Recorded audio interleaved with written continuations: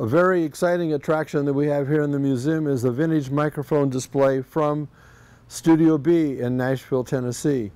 These were provided by Clark Hagan, a Grammy Award winning engineer from Nashville. These are the microphones that were used by the Everly Brothers, Roy Orbison, and most importantly, Elvis Presley.